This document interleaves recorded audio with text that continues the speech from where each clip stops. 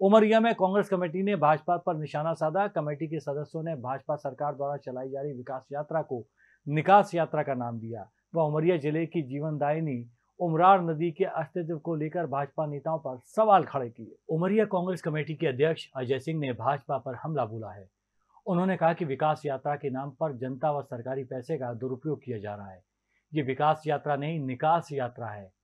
वहीं उमरार नदी को लेकर कांग्रेस अध्यक्ष ने कहा, भाजपा नेता और भूमाफियाओं ने मिलकर नदी को नाली में बदल दिया है।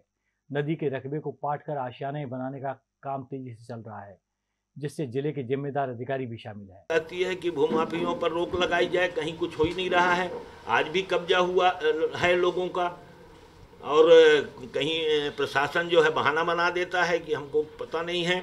नदी की सफ़ाई योजना चल रही है, साफ़ होनी चाहिए नदी, स्वच्छ होना चाहिए जल, लेकिन उसमें बहुत सारे प्रश्न हैं।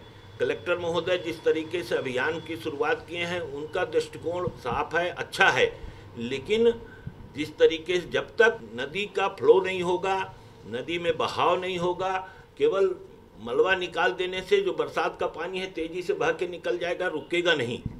अगर नदी की सफ़ाई करना है तो उमड़ार में चपहा नाले को जोड़ने की ज़रूरत है, जिसमें उसका फ्लो बढ़ सके और जो नालियाँ मिलती हैं नदी में, उन नालियों में सोक फिट बनाया जाए, तब जाके इसमें सुधार किया जा सकता है।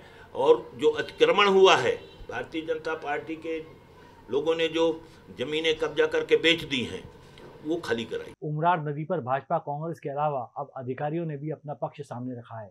कलेक्टर के डी त्रिपाठी ने कहा कि मामले की जाँच की जा रही है और दोषियों के खिलाफ कड़ी कार्रवाई की जाएगी। सफ़ाई एक अलग विषय है और यदि कोई अन्य गतिविधियाँ अवैध यदि हैं तो वो अलग विषय है। सफ़ाई नदी का ये बहुत ही पुनित कार्य है। इस पर प्रश्न चिन्ह लगाना उचित नहीं है।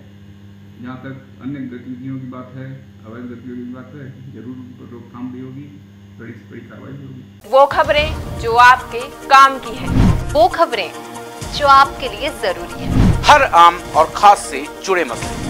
हर मसले का सटीक विश्लेषण। हम करते हैं सत्य का अन्वेषण। दखल न्यूज़। आपके हक में। आप देख रहे हैं दखल न्यूज़।